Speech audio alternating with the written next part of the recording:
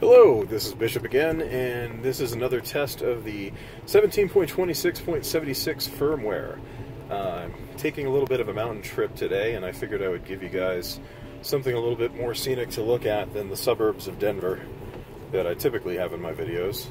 Um, unfortunately, as you can see, didn't quite pan out as well as I was hoping. So instead of this being a nice picturesque afternoon drive through the mountains on autopilot, Instead, I'm going to be showing you a demonstration of how well the autopilot works on a rainy day in the mountains. So as you can see, uh, it is slowing down on these turns to as low as just below 30 miles per hour. It's doing a reasonably good job of keeping the lane. It is occasionally drifting over too far to the center, in my opinion. Um, but the biggest issue that I see with the autopilot right now, although it's it's doing okay on these turns, and we'll see how it goes on some of these subsequent turns. Um, this might end up being a short clip because we're about to come up on a 50 mile per hour segment. Unfortunately, the autopilot is still not reading speed limit signs, which means um, since there is no GPS data for the particular highway that I'm on in the Colorado Rockies, um, I am currently capped to 5 miles per hour below the speed limit, which is probably going to cause some consternation for the drivers that are behind me. So keep going until somebody comes up behind me. Right now, it's doing a pretty good job of the lane keeping. And so far on this particular stretch, it hasn't had any issue with. I'm just going to go ahead and speed it up a little bit and disengage. It hasn't had any issue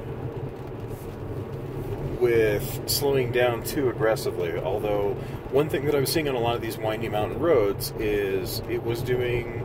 It was slowing down to speeds that were, in my opinion, below acceptable for the posted speed limit. For instance, on some of the roads on Highway 24 coming up, the corners were relatively blind, and the car was slowing down in an area where the posted speed limit was around 55 miles per hour.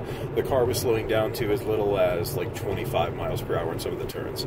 Um, granted, I kind of understand where the car was coming from, and right now what I'm doing is I'm actually I want to see what the TACC does um, for some of these turns. Unfortunately, the car's in front of me right now, so it's not a clean test.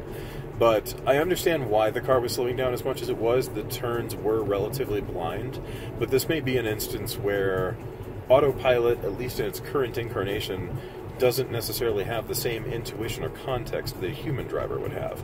So, yes, on tight, windy mountain roads that are um, in heavily wooded areas, the corners themselves are relatively blind, but in those scenarios, a driver, a normal human driver, would generally make an assumption that because the how isolated these roads are, the fact that there are no pedestrian pathways anywhere near these roads, that even though you don't necessarily have 100% visibility coming around a corner, that the corner is going to be relatively clear, except for you know extreme circumstances of maybe wildlife that's run into the road or falling rocks that are blocking the road.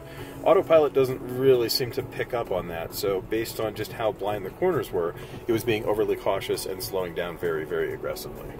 Um, I'm going to cut this clip short and then I'm going to start a new clip once I get to a more interesting section of road. But thanks for watching.